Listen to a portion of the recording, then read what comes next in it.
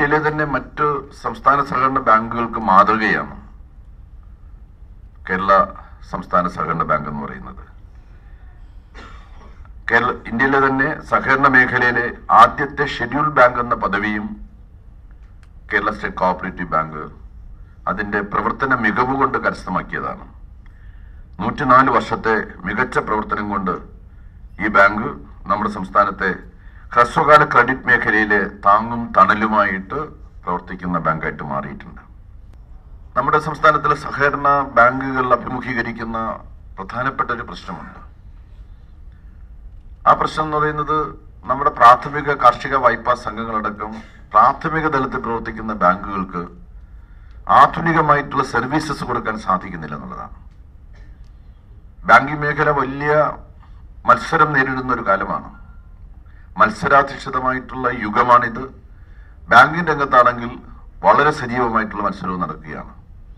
ആ മത്സരത്തിൽ കേരളത്തിലെ സഹകരണ ബാങ്കുകൾ പിന്തള്ളപ്പെട്ടു പോയാൽ കേരളത്തിന്റെ സാമ്പത്തിക ഘടനയിൽ തന്നെ വലിയ മാറ്റം ഉണ്ടാവും. കേരളത്തിന്റെ സാമ്പത്തിക വികാസ പ്രക്രിയയിൽ വളരെ ഫലപ്രദമായിട്ടുള്ള ഇടപെടൽ നടത്തുന്ന പ്രസ്ഥാനമാണ് സഹകരണ ബാങ്ക് എന്ന് പറയുന്നത്.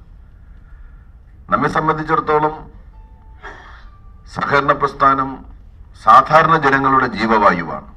നമുക്ക് നമ്മുടെ സംസ്ഥാനത്തെ സംബന്ധിച്ചിടത്തോളം സഹകരണ മേഖലയെ ആധുനികത സമ്മാനിച്ച് പിടിച്ചു നിർത്തി മുന്നോട്ട് കൊണ്ടുപോകാൻ സാധിക്കണമെന്നുള്ള കാഴ്ചപ്പാടോടുകൂടിയാണ് ഗവൺമെന്റ് കേരള ബാങ്ക് എന്ന ഒരാശയം പ്രാവർത്തികമാക്കുന്നതിന് വേണ്ടിയിട്ടുള്ള പരിശ്രമം നടത്തുന്നത്.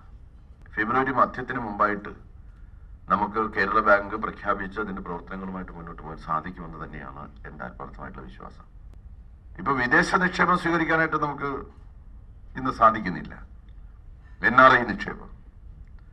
അപ്പൊ എൻ ആർ ഐ നിക്ഷേപം സ്വീകരിക്കാൻ കൂടെ സാധിച്ചാൽ യഥാർത്ഥത്തിൽ സംസ്ഥാന സഹകരണ ബാങ്കിന്റെയും നമ്മുടെ പ്രാഥമിക കാർഷിക വായ്പാ സംഘങ്ങളടക്കമുള്ള സംഘങ്ങളുടെയും മുന്നേറ്റം ഈ മേഖലയിൽ വളരെ വലുതായിരിക്കുമെന്ന് നമ്മൾ കാണും. ഒന്നേ മുക്കാൽ ലക്ഷം കോടിയാണ് ഒന്നര ഒന്നര ലക്ഷം കോടിയാണ് എൻ ആർ ഐ നിക്ഷേപം കേരളത്തിലെ ബാങ്കുകളിലുള്ളത്. നമ്മുടെ ബാങ്കിൽ ഒരു ഉറുപ്പി ഉറുപ്പിയില്ല നമുക്ക് ഒന്നേ മുക്കാൽ ലക്ഷം കോടി എന്ന് പറയുന്നത് നാട്ടിലെ സാധാരണക്കാരന്മാര് ഇടുന്ന നിക്ഷേപമാണ്. നമ്മുടെ പ്രാഥമിക സംഘങ്ങളിലും ജില്ലാ ബാങ്കുകളിലും അതിന്റെ ബ്രാഞ്ചസിലും ഒക്കെ തന്നെ ഉള്ള നിക്ഷേപം സംസ്ഥാന സഹകരണ ബാങ്കിനും ഒക്കെ വന്നിട്ടുള്ള നിക്ഷേപം എന്ന് പറയുന്നത് നാട്ടിലെ സാധാരണക്കാരന്റെ നിക്ഷേപമാണ് പാവപ്പെട്ടവരുടെ നിക്ഷേപമാണ്.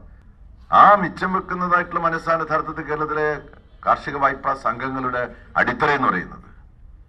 നമ്മുടെ ഒന്ന് ഒന്നേ മുക്കാൽ ലക്ഷം കോടി നിക്ഷേപം എന്ന് പറയുന്നത് നല്ല സാധാരണക്കാരുടെ നിക്ഷേപമാണ്. പക്ഷേ ഒന്നര ലക്ഷം കോടി നിക്ഷേപമുണ്ട് വിദേശ മലയാളികളുടേത് പ്രവാസികളുടേത് കേരളത്തിലെ വിവിധ ബാങ്കുകളിൽ. അതിന്റെ ഒരു നിശ്ചിത ശതമാനം അൻപത് ശതമാനം എന്ന് തന്നെ കരുത് അൻപത് ശതമാനം നിക്ഷേപം കേരളത്തിലെ സഹകരണ മേഖലയ്ക്ക് ലഭ്യമായാൽ നിശ്ചയമായിട്ടും നമ്മുടെ സംസ്ഥാനത്തെ സംബന്ധിച്ചിടത്തോളം കേരളത്തിലെ സഹകരണ പ്രസ്ഥാനത്തിന്റെ വളർച്ചയ്ക്ക് വലിയ തോതിൽ നമുക്ക് മുന്നോട്ട് പോകാൻ സാധിക്കും. നമ്മുടെ വായ്പാ ശേഷിയിൽ തന്നെ വലിയ വർധനവുണ്ടാകും.